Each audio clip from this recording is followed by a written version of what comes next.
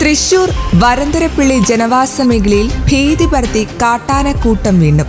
ഇന്ന് പുലർച്ചെ പുതുക്കാട് എസ്റ്റേറ്റ് മാനേജറുടെ ബംഗ്ലാവ് തകർത്ത് കൃഷികളെല്ലാം പിഴുതെറിഞ്ഞ് എസ്റ്റേറ്റ് തൊഴിലാളികൾക്കെല്ലാം രാവിലെ ജോലിക്ക് പോകുവാൻ ഇപ്പോൾ പേടിയാണ്.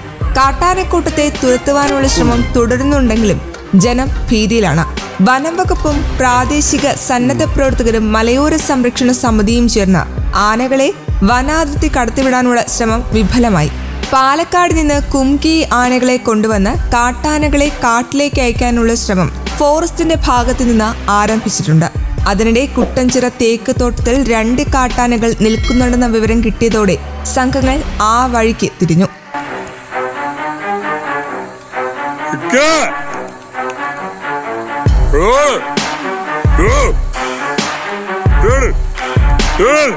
അതല്ലേ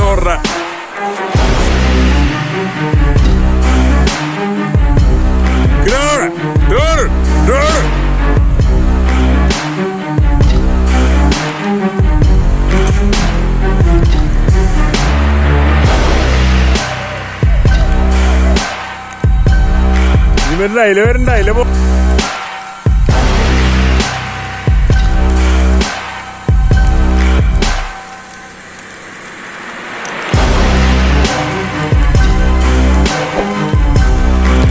പാലപ്പിള്ളി മേഖലയിൽ ആന ആക്രമണവും കൃഷി നശിപ്പിക്കലും വർദ്ധിച്ചത് കുറച്ചു നാളുകൾക്ക് മുമ്പാണ്. നിത്യേന കിലോമീറ്ററുകൾ സഞ്ചരിക്കാറുള്ള ആനക്കൂട്ടങ്ങൾ ഭക്ഷണം തേടി ജനവാസ മേഖലയിൽ എത്തുന്നതോടെ തെങ്ങ് കവുങ്ങ് വാഴ തുടങ്ങിയ കൃഷികളെല്ലാം തന്നെ നശിപ്പിക്കുന്നുണ്ട്.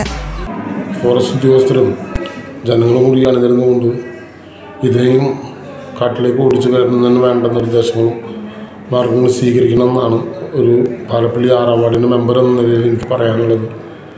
തീർച്ചയായിട്ടും ഞങ്ങളൊക്കെ വളരെ ഭീതിയിലാണ് കാരണം എസ്റ്റേറ്റ് മേഖലയിൽ ജോലി ചെയ്ത് തുച്ഛമായ വരുമാനം കൊണ്ടാണ് ഞങ്ങളെല്ലാവരും ജീവിക്കുന്നത്.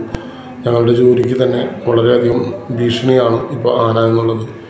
ഇന്ന് ഇപ്പോൾ ഞാൻ ഈ വോയിസ് ഇടുന്നതിന് ഈ വീഡിയോ ചെയ്യുന്നതിന് മുമ്പ് തൊട്ട് മുമ്പ് ഞാൻ ജോലി നോക്കുന്ന പുതുക്കാട് എസ്റ്റേറ്റിൽ ആറാന ഇതുപോലെ തന്നെ ആളുകൾ ജോലി ചെയ്യുന്ന ആ ഫീൽഡിലൂടെ കടന്നു പോകുന്നുണ്ടായി എല്ലാവരും ഓടി പാൽപ്പുറകളിലേക്ക് രക്ഷപ്പെടുന്ന രീതിയിലാണ് എനിക്ക് കാണാൻ കഴിഞ്ഞത് തീർച്ചയായിട്ടും ഞങ്ങളെല്ലാവരും തികഞ്ഞ ആശങ്കയിലും ഭീതിയിലുമാണ്. അധികാരികൾ കണ്ണു തുറക്കണമെന്നാണ് ഞങ്ങൾക്ക് അഭ്യർത്ഥിക്കാനുള്ളത്.